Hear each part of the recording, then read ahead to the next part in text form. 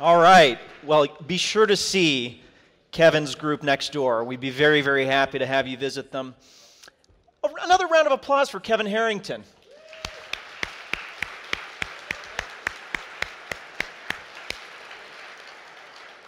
But wait, there's more. This next person who I'm about to introduce, I've gotten to know fairly well over the past few years. He's been uh, an amazing and frequent presenter at fee seminars and fee workshops. You know, I mentioned Praxis earlier. Praxis, uh, this, our next speaker is the co founder and the director of education for Praxis. And I think he's going to blow your socks off. He's consistently rated, I hope I'm not talking him up too much, as one of our highest rated speakers at our events. I want to introduce to you TK Coleman.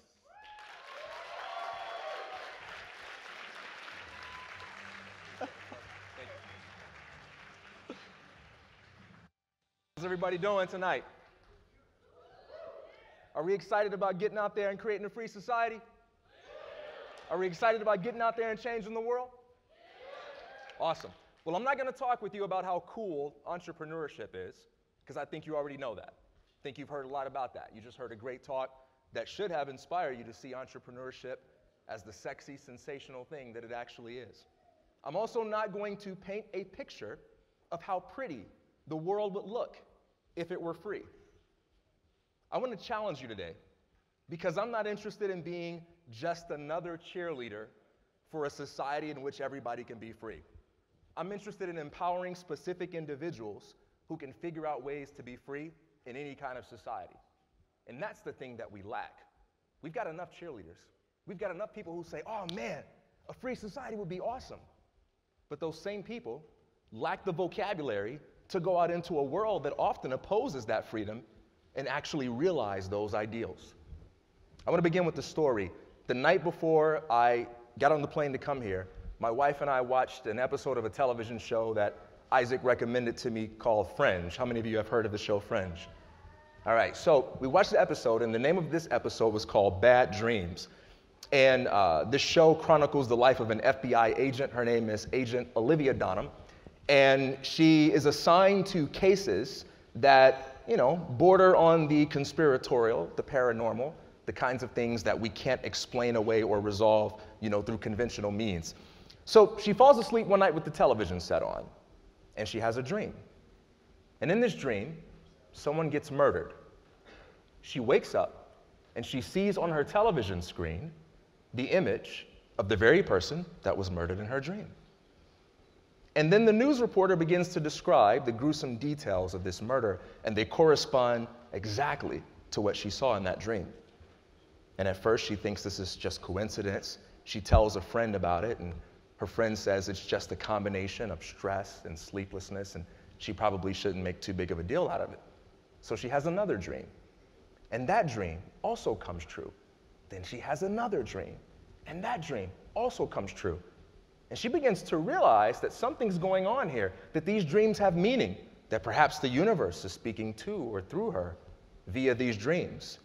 And so she does what we all do when we have dreams that provoke us. She sought out external validation and support. She goes to the FBI and she says, I need your resources, I need your support. I'm having these dreams, these dreams are coming true, and if you can invest in me, I can go out there and I can do something about it. And they responded to her in the same way the world responds to you when you talk about your dreams. They said, You need a little bit more sleep. And so they didn't give her the support. And so she starts to get a little stressed out, a little paranoid. And then she has a radical idea an idea that takes far more imagination than anything that she saw in her dreams. And that idea was more important than trying to convince other people to validate and support my dreams is doing whatever is within the realm of my power to do to save one human life. And so she does something crazy. She steps outside of the system, the permission based system. And she gets out there and she breaks the rules and she tries to save a life, even though it puts her at great risk, and she succeeds. She actually saves one life. And then and only then the FBI decides that they will put their full support behind her and she's able to go on to solve more crimes. That's the funny thing about support. You know, there's a myth in the startup world that the way to get people to invest in you is to come up with some really awesome creative idea that nobody's ever had before. But creative ideas, especially ideas about how to create a freer world, are a dime a dozen. Everybody has them. Everybody thinks they have them. And no one gives a damn because there's no one that will ever invest in your idea. The only thing that people ever invest in is momentum, the demonstrated ability to get things done. We live in a world where there are very few guarantees, but there is one guarantee I believe in, and that is this true power belongs to those who are willing to act in the absence of guarantees.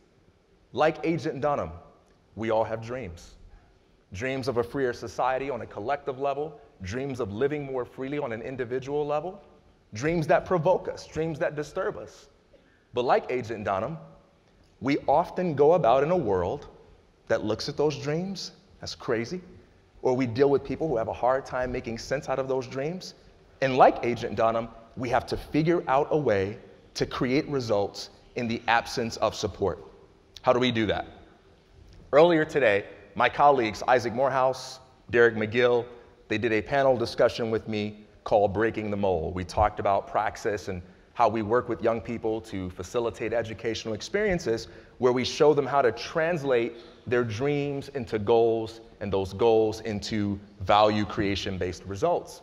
And one of the questions that came up in the Q&A was, you know, I, I like this philosophy, I like what you guys are talking about, but nobody else in society thinks that way. And that does seem to be a problem, right? You know, we're kind of like in an ideological vacuum. Everybody here is, you know, resonating with the whole anything peaceful idea. You know, everybody kind of agrees with one another about, you know, the awesomeness of freedom and the coolness of entrepreneurship. But that's not where the problem lies, right? When you go out into the real world, you find most people oppose these kinds of ideas. I have people remind me this of, this all the time, by the way. I'm always blogging about optimism and the power of creativity, and there are always people enlightening me about the fact that, you know, TK, that's really nice, that's really cute, Mr. Wannabe Tony Robbins, but the reality is there's political corruption in the world. And I guess these people think that someday I'm going to hear about some political scandal that's going to make me go, oh, what the hell am I doing trying to change the world? I, I, guess things are so bad, I should probably go sit in a corner and just be depressed and do nothing. But there is a problem, right? There is a lot of opposition in the world. So, how do we create results in that world? How do we get things done? Well, the first thing we have to do is we have to step back and we have to look at the world's opposition in an unconventional way. We often look at it as evidence that our dreams are meaningless or that our dreams are powerless. But we actually have to look at that as the very basis of what makes us valuable. One of the things that we talked about in our, at our panel is that if everyone saw the world the way you did, what would be the need for you? You know, there's a story that I heard, I'm not even sure if it's true, but just get the message out of it. Please don't be one of those cats who come up to me later like, technically, that never happened. I don't even care if it happened or not.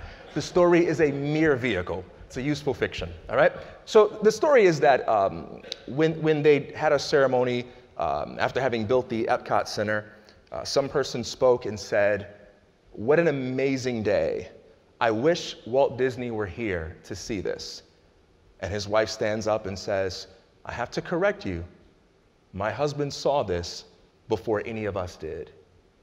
And the idea there is that a true dreamer is someone that sees changes before other people find those changes to be believable. If everybody could easily get on board with your vision for a better world, for a freer society, then we would no longer need you. So, that very thing that is the source of your anguish is also the source of your value. But here's the most important thing there's a basic concept in physics called inertia. Anybody know what inertia is? What's inertia? Somebody on the front row tell me.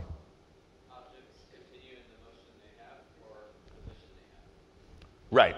Inertia is typically uh, understood in terms of tendencies, right? An object at rest tends to stay at rest unless acted upon by an outside force. An object in motion tends to stay in motion unless acted upon by an outside force. Now, inertia isn't a concept that I made up. It's not a concept that Oprah made up. It's a real thing, right? This is physics that we're talking about. So that means the world is inherently resistant to change. So to have an intellectually honest conversation about changing the world means that we need to be honest about facing resistance as a necessary part of that. So when people point out that the world will resist our efforts to change it, they are simply saying something about the nature of change. They are not giving you an argument that says you can't change the world. They're just simply letting you know that this is what change is. This is what change, this is what change takes. So when you try to make things happen, you will experience kickback from the world that says, I'm not gonna make this easy on you. Because in order to overcome inertia, you have to do more than just apply force, you have to apply a greater amount of force than whatever is opposing you, whatever is sustaining the status quo. Now, I want you to think about your ideas of what this world needs. And I want to challenge you to make a commitment. Because when you leave here, you're going to lose out on this beautiful experience that you're now having, which is the opportunity to have coffee and cool conversation with interesting people who think like you. You're going to go out into the world that's going to beat you up and make you look crazy and make you feel crazy. And I don't want you to lose all the valuable inspiration that you're getting from this conference. So I want to challenge you to make a decision. I want to challenge you to commit before you leave here to building, starting, launching, or creating one thing that will make the world freer. And when I say make the world freer, I really mean you.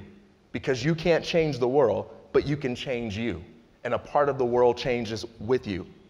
And when I say decision, I don't mean discovery. I don't mean think about what the right answer is and try really hard to discover it, asking 30 different people for advice. I mean, make a decision. I mean, recognize that you have the power to make things up, that you have the power to invent reality and decide what you're going to create. Because the force that changes the world, it's not dreams, it's the power of choice. One of the things that Kevin talked about up here was building a dream team. And I agree with that. I think that's immensely valuable. You got to build a dream team. But I want to take that a little bit further. I want to challenge you to build a decision team. I want to challenge you to surround yourself with people that won't let you get away with talking shit about creating a freer world, but who will challenge you to do shit until shit gets done. Because at the end of the day, it's not dreams that come true, it's only decisions that do. Thank you.